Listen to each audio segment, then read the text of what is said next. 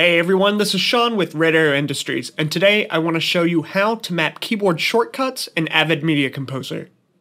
Mapping your keyboard to customize your workflow and how you use the Avid is going to greatly increase your speed, so I recommend all editors taking about 30 minutes to an hour out of their day to really figure out what shortcuts are going to work best for them. First, we're going to start by bringing up our keyboard under Settings, and then opening up our command palette under Tools. You'll notice at the bottom of the command palette are three options button to button reassignment, active palette, and menu to button reassignment. Active palette means whatever command you click on your command palette is going to activate on your timeline.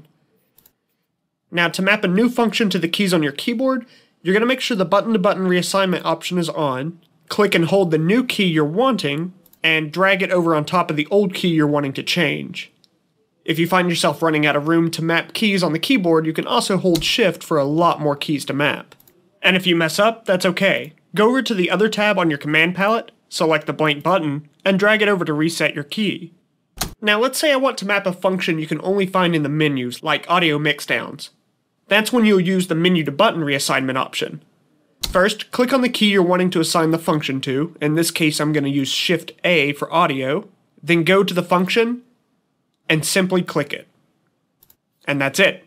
A quick view on how to map keyboard shortcuts in Avid Media Composer. Do you have any really useful functions you've had to map out? Let us know in the comments below.